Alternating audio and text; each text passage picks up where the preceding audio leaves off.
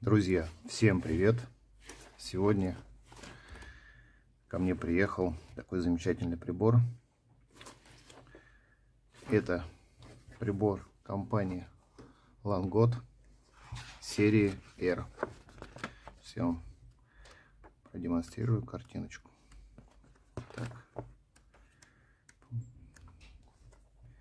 Вот, серии R.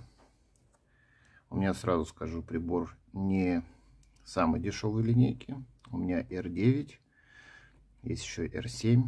Но я знаю, что ребята сейчас производят э, серию R6 и R4. Могу ошибаться. Давайте немного расскажу вам про прибор. Тепловизионный прибор Langot R серии. Совершенно новая линейка высокотехнологичных приборов от компании Langot. Компактный, надежный, легкий и функциональный. Сенсор матрицы 12 чувствительностью 35 МК. OLED дисплей с высоким расширением. OLED, э, сейчас и телевизоры все с таким высоким расширением идут. Даже прочное исполнение с тестом предельной ударной нагрузки 750 джоуль. Практически не имеет ограничений по калибру. Температура может работать до минус 30, до плюс 50. Широкий выбор. Профиль профилей пристрелки, прицельных перекрестий и палитр передачи изображения. Я думаю, это вам по, по, ну, по, попозже покажу все, какие там есть настройки. Встроенная память 64 гига. Вот. Скажу так, с этим прибором я уже ездил на вышку. Картинка шикарная по сравнению с своими, допустим, аналоговыми производителями, у которых цена намного выше чем у данного прибора. Вот. А теперь давайте посмотрим сам прибор и комплектацию. Итак, прибор поставляется вот в такой сумочке. Но я думаю, что может быть и не в такой комплектации сумочки. Более жесткий чехол.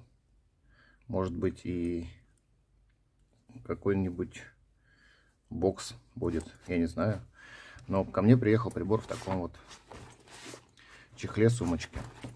Есть зарядное устройство для зарядки аккумуляторов. В комплекте идут два аккумулятора. Вот у меня они вот такие, но можно поставить удлинитель и поставить э, длинный аккумулятор.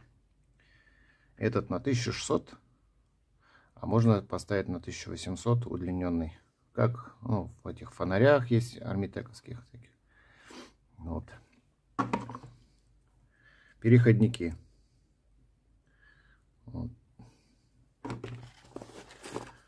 Потом а, зарядка от пауэрбанка. Шнур идет.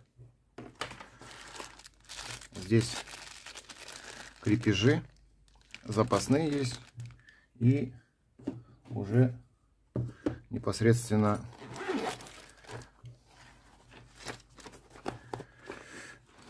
на крепление для прицела. Я вот поставил их два. Но в комплекте идет еще два. Вдруг вы их потеряете случайно. Вот всегда есть два запасных. И да очень удобно что крепление прицела уже идет в комплекте. Не надо, как у многих там производителей, отдельно покупать. Который... И он стоит не малых денег, кстати, если отдельно покупаешь его. Вот. Такой надежный, крепкий.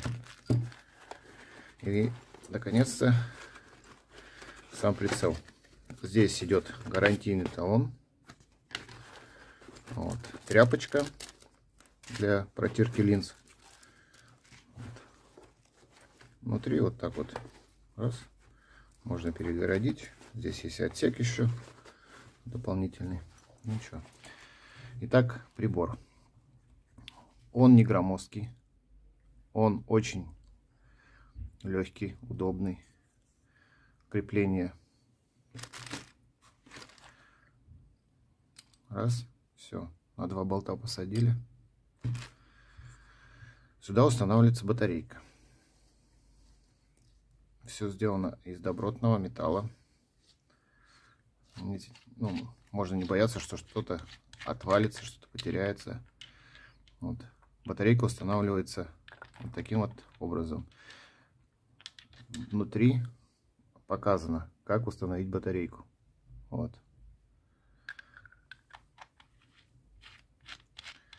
Поставили. Все. Сюда ставится еще удлинитель, чтобы аккумулятор более мощный установить. Наглазник. Он сидит хорошо. А, регулировка, чувствительность, яркость, вот это все подстраиваешь под себя. Спереди также фокус. Вот сама линза. Здесь есть USB вход для того, чтобы заряжать, допустим, на вышке батарею, когда вы не пользуетесь. Либо, э, ну, Powerbank подключили и все, и можете там сидеть несколько часов от Powerbank, если у вас сел аккумулятор. Вот. Кнопки. Кнопка включения, кнопка меню, вверх, вниз. Вот. Коротким нажатием можно функции настраивать. Меню тоже есть два режима меню. Вот. Коротким нажатием двойным открывается одно меню, второе меню. Но это я покажу вам попозже. Вот такой вот прибор. И качество картинки шикарное. Сразу говорю. У меня это первый прибор. Но у меня был момент на охоте, когда я мог сравнить с прибором с тем же самым, допустим, 35-м ARE, который стоит намного дороже, чем этот прибор, но качество картинки было намного хуже. Здесь все шикарно. Я вам покажу это дальше. И оленей, и кабанов. Итак, мы находимся на вышке. Вот.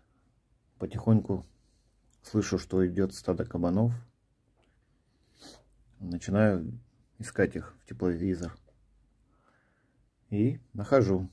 Картинка очень шикарная. Видно вообще всех. И даже а, вот олень, допустим, он стоит очень далеко. Дальше вы увидите. Вот. И это понятно, что это олень, не кабан, там, не лиса, не заяц. Вот.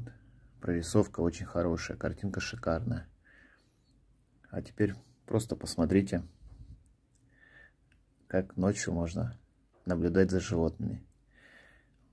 На этой охоте мне не удалось совершить выстрел, но я вдоволь насмотрелся кабанов, оленей. Приятного просмотра.